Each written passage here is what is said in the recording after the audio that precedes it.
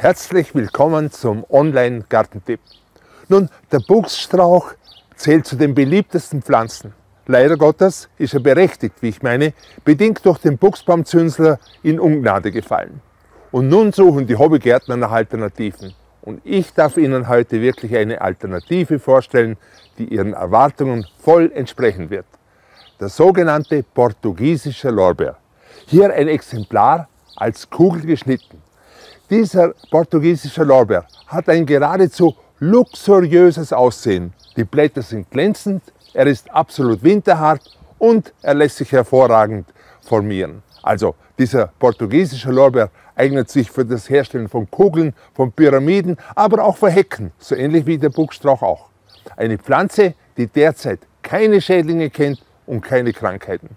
Und dieser portugiesische Lorbeer entwickelt kleine Blüten, die einen intensiven Duft vermitteln.